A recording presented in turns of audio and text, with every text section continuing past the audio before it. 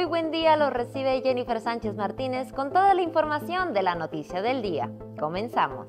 En Acuña, alumnos y directivos de la escuela primaria Humberto Jiménez Garza recibieron malla sombra como parte de la rehabilitación de 22 instalaciones de planteles educativos municipales.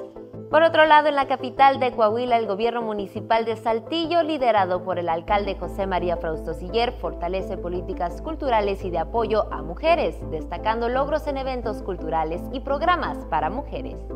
En la región Laguna, el personal de comercio y turismo de Torreón se está capacitando en el planetarium para observar el eclipse solar total de 2024.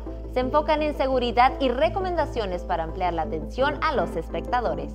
Mientras tanto, en Monclova, en una ceremonia cívica, las autoridades de Monclova, lideradas por el alcalde doctor Mario Dávila Delgado, conmemoraron el 195 aniversario del natalicio del teniente coronel Ildefonso Fuentes de Hoyos. En nuestra ciudad vecina, agentes de la Policía Preventiva Municipal de Ramos Arizpe impartieron una charla sobre prevención de accidentes en el hogar alumnos del Instituto Capellanía como parte del programa de proximidad social.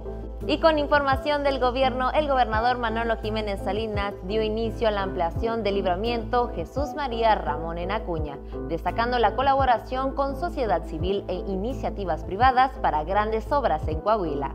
Mientras tanto, en la sesión de este martes, las diputadas y diputados del Congreso del Estado de Coahuila dieron seguimiento a diferentes temas ciudadanos. Además, quedó instalada la Comisión de Energía Minera e Hidrocarburos que coordinará el diputado Alberto Hurtado. Y no menos importante, el magistrado presidente Miguel Meri estuvo en entrevista al 100 en la Reina 100.9 FM, donde habló sobre los resultados en la impartición de justicia y los retos del Poder Judicial de Coahuila.